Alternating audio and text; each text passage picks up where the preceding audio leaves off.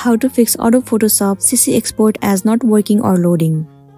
So what you want to do is force close and restart the Photoshop. If you have confirmed your computer meets at least the minimum requirement of Photoshop, then the issue you have been facing might be a minor glitch. So on Windows, right-click the taskbar and then choose the Task Manager. Right-click Adobe Photoshop on the Task Manager window and then choose End Task. Now simply relaunch Photoshop on your PC. Now the next thing you want to try doing is run Photoshop with admin rights. You might be facing the issue on your PC because the app lacks certain permissions.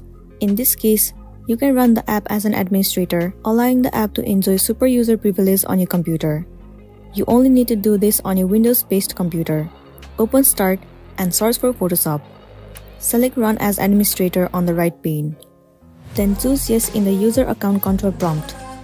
Now right-click your Photoshop shortcut and select Properties.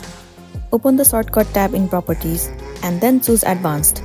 Enable Run as Administrator and then select OK. Choose Apply followed by OK on the Properties window. So that's it and this is simply how you can fix Adobe Photoshop CC export as not working or launching. I really hope this video is gonna be helpful for you. Thank you for watching it till the end.